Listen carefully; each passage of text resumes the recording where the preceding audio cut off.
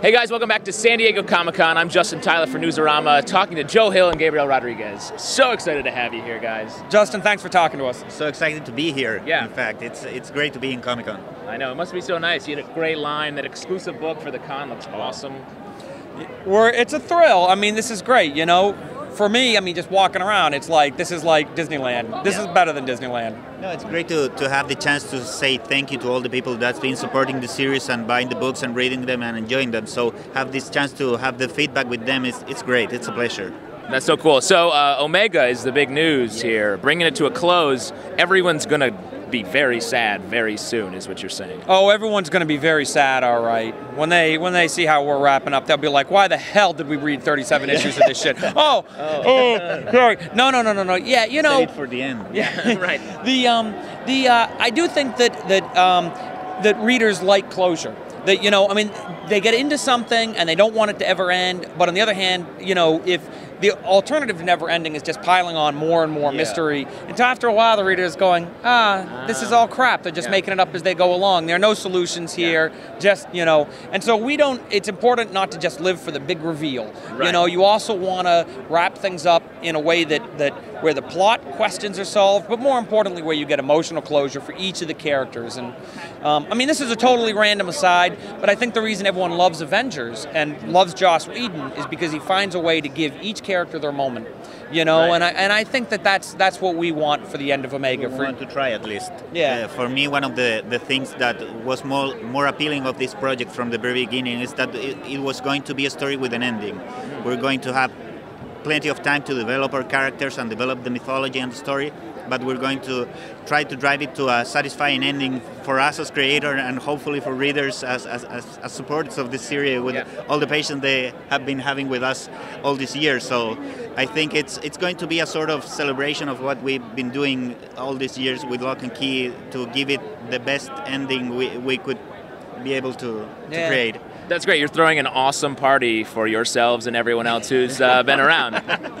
that's about it. You know, the truth is, though, as we keep talking about Locke and Key ending, um, but in a way, there will be more Locke and Key. Um, we've already started talking about um, the big story about Tyler and Dodge Yes. is going to end. But there, there is actually going to be a seventh book, which will be called Locke and Key: The Golden Age, and we'll we'll uh, collect a series of one shots like Open the Moon and Grindhouse. There'll wind up being about six of these, um, and they won't they won't actually be about the main Locke and Key crew, but about earlier inhabitants of the house. About the world. And we it- have 300 years of history of the locks, so there's a lot of room to explore. Yeah, yeah, and and and you know, and I think for for Gabe and I both, you know, we really love those Sandman books, which are really just collections of one shots. Um, You know, and so we wanted to have something like that where the casual reader could just leap in and have a bunch of great little fables. So we're that's what we're doing with the seventh book. And it, for those of us that are addicted to the series, it's nice to get a little taste uh, to keep the, the party going. Yeah.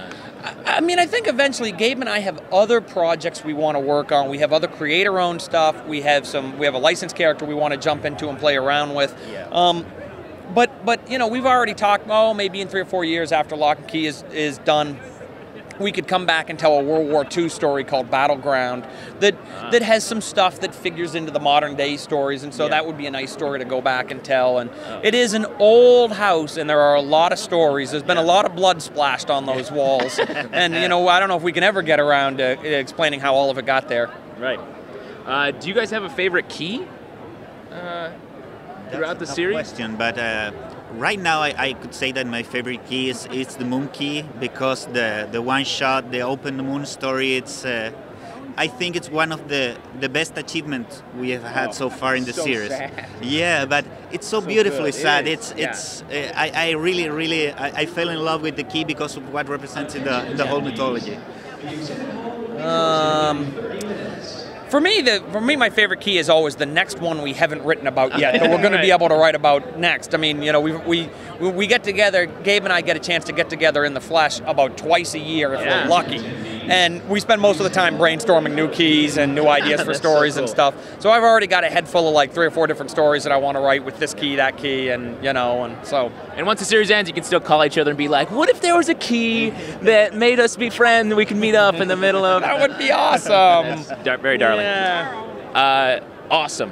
Um, and what else are you guys an- announcing here? Are you doing anything? Uh, Well, there's two things, two other announcements. surprises. One is that um, um, we're going to be talking about Wraith.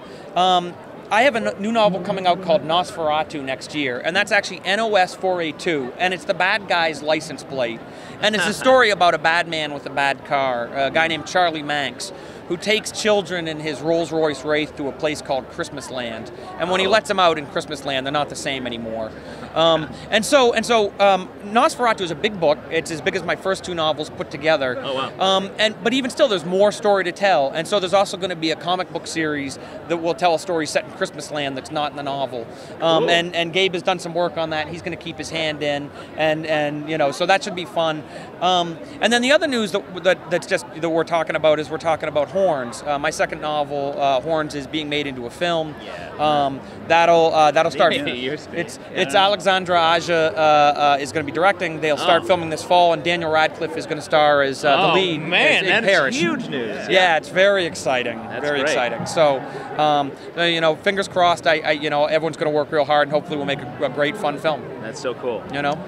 And uh, one last thing, um, I do a show called Comic Book Club, as many of you know, and you've included Alex Zalben uh, in the book in Locke and Key. There is an odd, there is a guy who looks oddly like Alex Yeah, Zalben it's- as it's a an doctor. Strange coincidence. And he does, and he does actually is actually named Doctor Zalben, and I don't know, but coincidences the happen. All characters are coincidental. That's true. Right, it's yeah. very true. But I'm afraid that will keep happening. It's, Yeah. it's, it's one of the mysterious things about Locke and Key. I think You, you know, yeah. stuff happens. You see stuff, and before you know it, you know, It appears. Yeah, it appears. It appears. knows? So I do think there's. I mean, there is, for example, in Omega, there is a character. If you look close, kind of looks a little bit like this dude, Pete LePage, who's Oh, Pete LePage. Oh, good. So you have Zalben and LePage. Oh, Yeah, cool. That's know. good. Those are great and guys. that's it. Yeah. I mean, those are the guys who run the show, right? I mean, those Yeah. are really the guys who Yeah. say the interesting Oh, stuff. but- but and then surely- there's- and then there's another guy who's like, what's he do? Grab coffee and stuff for them, or something? yeah, like he's more of an intern than Yeah, anything. right. They're right. The There's the intern and stuff Yeah. like that. Yeah. So you Right. know, and uh, Well, maybe just like in a long, a big panel, there can be one guy way in a